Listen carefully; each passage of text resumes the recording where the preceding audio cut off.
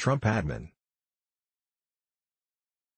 offers solutions to border crisis as Democrats continue to obstruct members of the Trump administration said they are looking at all options to solve the border crisis as Democrats refuse to address the issue.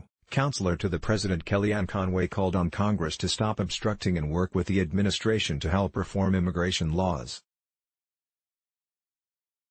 Conway maintained that increasing scrutiny over immigration laws will allow Homeland Security to focus on legitimate asylum claims. So, Many of the liberals want the illegal migrants to remain in America. Why not remain in Mexico while your claims of asylum are being processed? This is something that our secretaries, our cabinet and the president brokered with Mexico. It's safe passage for those families and unaccompanied minors to remain in Mexico while their claims of asylum are being processed. Kellyanne Conway, counselor to the president after President Trump suggested sending illegal immigrants to sanctuary cities, White House Press Secretary Sarah Sanders said that option still remains on the table. If Democrats continue to be unwilling to do that then we're going to look at all of our options and we don't want to put all of the burden on one or two border communities, she explained.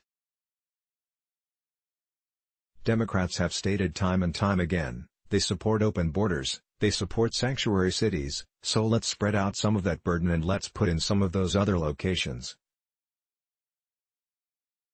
If that's what they want to see happen, and are refusing to actually help fix the problem.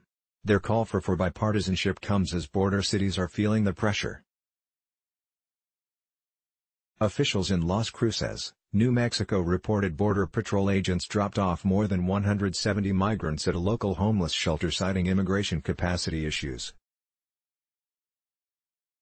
We've been in contact with federal immigration authorities, and they're telling us that this influx could continue for a while, and so we're just preparing ourselves, stated Udell Vigil, Las Cruces spokesperson. With no word on when the drop-offs will stop, those in Las Cruces are keeping potential future migrants in mind and are hoping for a resolution.